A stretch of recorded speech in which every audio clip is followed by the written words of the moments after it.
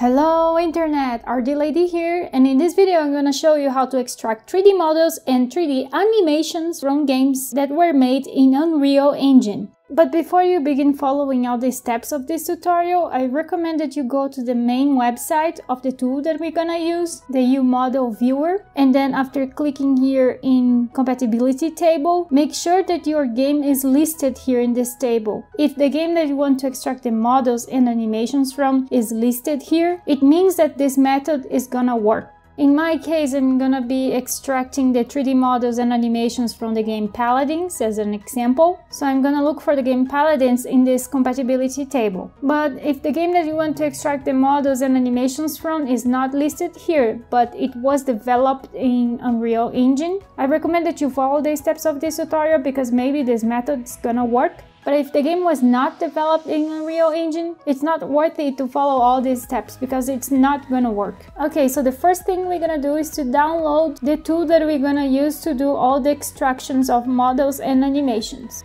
The name of this extraction tool is Unreal Engine Resource Viewer and I'm gonna leave a link to download this tool in the description of this video. After downloading the extraction tool, I'm gonna copy it to my desktop just to make it easier to work with it. And this tool is compressed in zip format, so you're gonna need WinZip, WinRAR or 7-zip to extract this tool.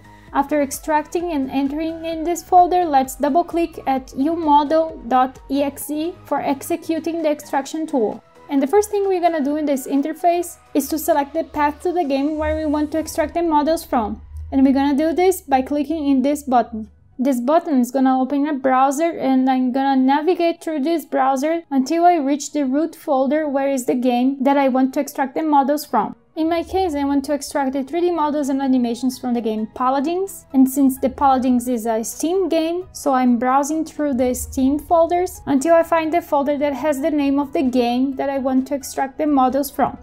If this is the first time that you are trying to extract the models from your game, you can leave this option unchecked. But in my case, I know that Paladins won't work if I leave this automatic game detection enabled. So I'm gonna have to specify manually what is the game that I want to extract. So you can try first the automatic game detection and if that doesn't work, then you can try the manual detection.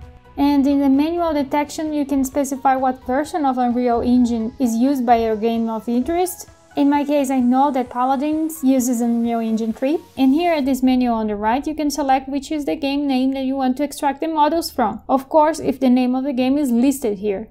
You can enable additional options as well as extracting the audio from the game, for example. And then we just have to click in OK, and if you selected the correct folder and the correct options, this window is gonna show a list of all the assets in the game. So now let's scan all the game content by going here in this little arrow that is on the right side of the tools button and then we're gonna click in scan content. If the scan worked, now we should be able to see the number of animations, textures and skeletons that are showing up for each asset on the screen. Some of the assets will not show anything. Now let's click in one of those assets and let's press Ctrl A to select everything and let's click in export. If the extraction worked, a folder named UModel export should show up at the same folder where is our extraction tool. Subfolders inside this UModel export folder usually have names that are similar to assets or character names in the game. In my case, I'm looking for the Drogoz character, so I'm gonna look for a subfolder that has his name. The animation files are usually in PSA format and the skeletal meshes usually have PSK format.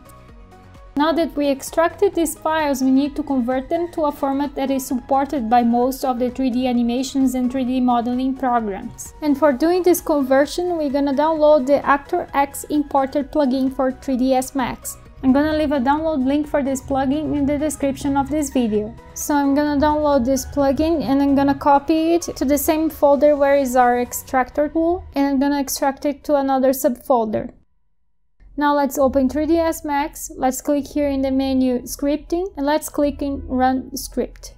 So here let's go to the folder that we have just downloaded and extracted and inside that folder let's click in the script Actor X Importer a new window should open and then we're gonna click here in import PSK so we can import one of the skeletal meshes in PSK format that we have extracted. If you find a model like in my case here that is divided in different parts, I suggest that you import first the head or smaller limbs and after that you import the body of the model or the largest part.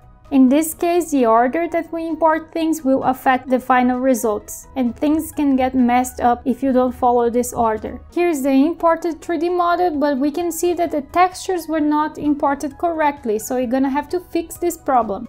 And for fixing this, we're gonna click here in Material Editor, and after that we're gonna click here in Pick Material from Object, and after that we have to click in the 3D model for extracting its material. Let's double click in this bitmap here that looks like a black image and let's click in this bitmap called Drogoz Wings so we can find a texture that can replace this broken link to the file.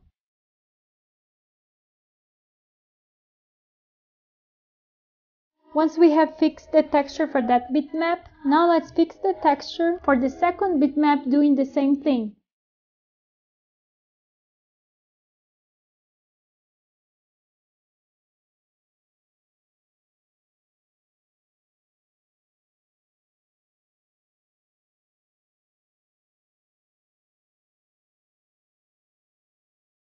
Now that we fixed the texture for Drogoz body, let's go ahead and fix the texture for his head. And we're gonna do the same thing again. We're gonna click in pick material from object and then we're gonna click in his head. And after that we're gonna fix this bitmap that has a broken link by selecting the correct texture file.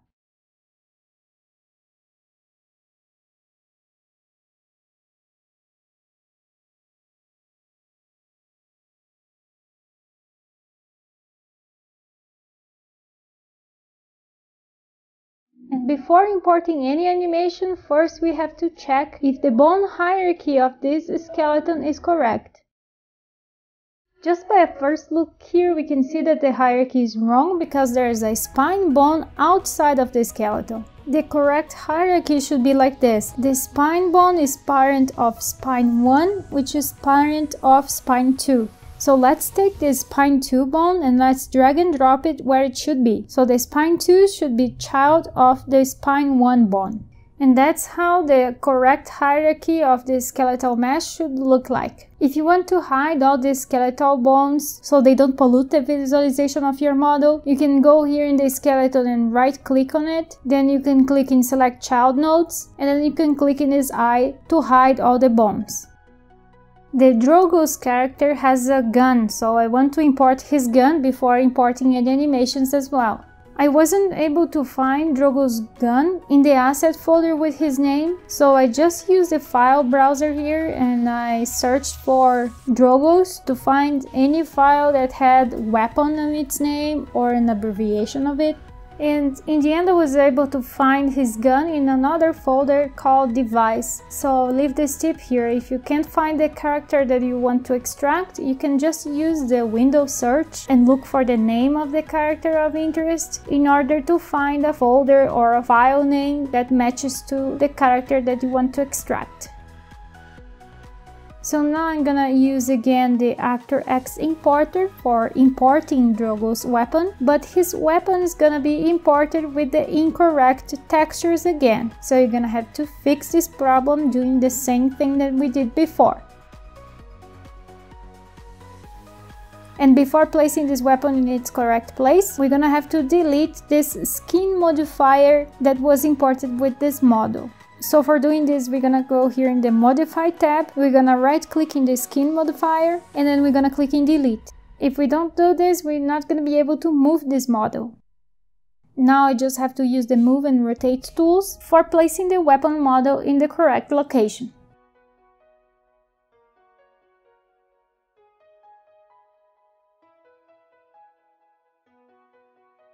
Now we can finally go back here to the modify tab. We can click here in this modifier list and we can finally add back the skin modifier.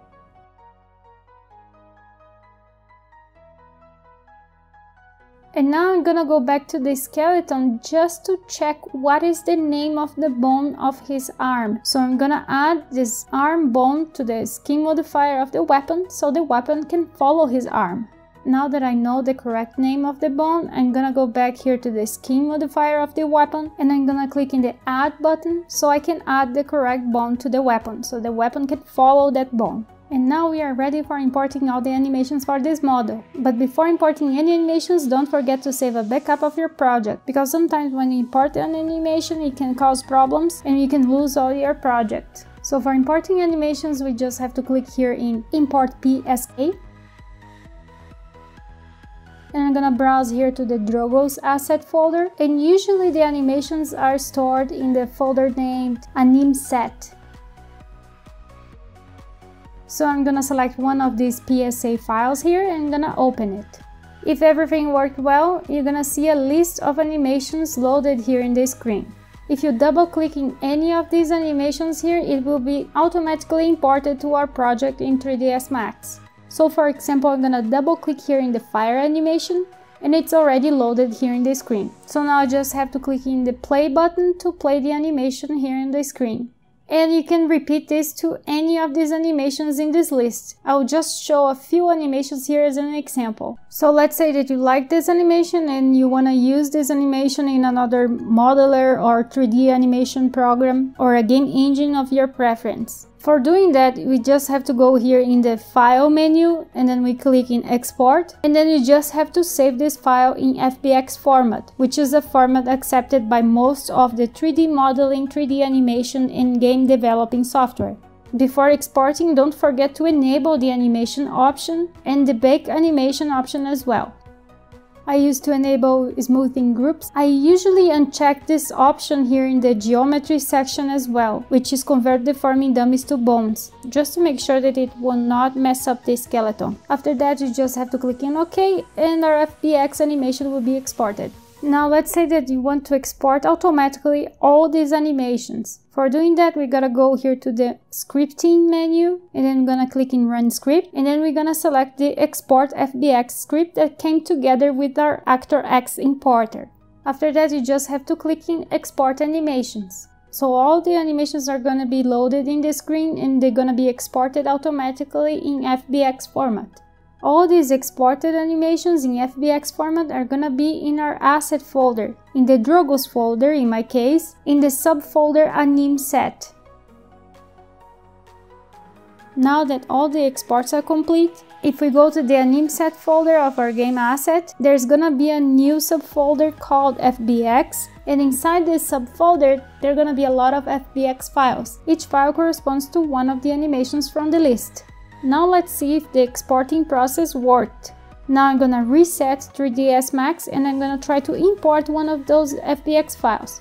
For doing that, I'm gonna go here in the menu File and then I'm gonna click in Import and I'm gonna select one of those FBX files that we have just exported. Here in the importing options, I'm just gonna check the fill timeline option. And here is a 3D animations of the Drogoz character from the game Paladins. I'm not gonna show here in this video how to import this animation to Unreal Engine because I have shown that before in another video. So I'm gonna leave a link to access that previous tutorial in the description of this video.